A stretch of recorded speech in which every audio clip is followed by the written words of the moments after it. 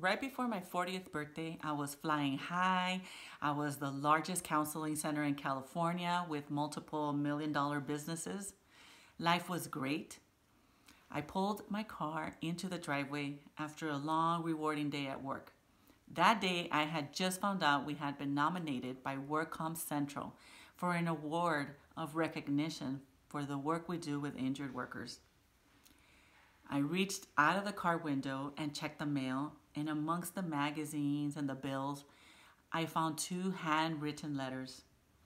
Before I even opened them, I knew who they were from.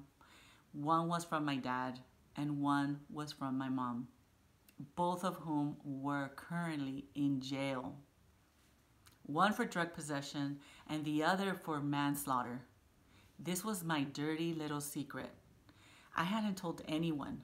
The irony hit me right away.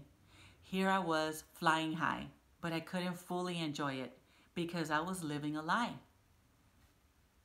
I knew in that moment that for me to live a happy and successful life, I needed to look at the lies that I was telling myself and come clean. Are you hiding behind lies? Little truths are bending or big dirty secrets? Can you imagine how much joy you could feel if you began to come clean? I know that for the more truth I embrace, the more miracles show up in my life. And I have a feeling the same could be for you.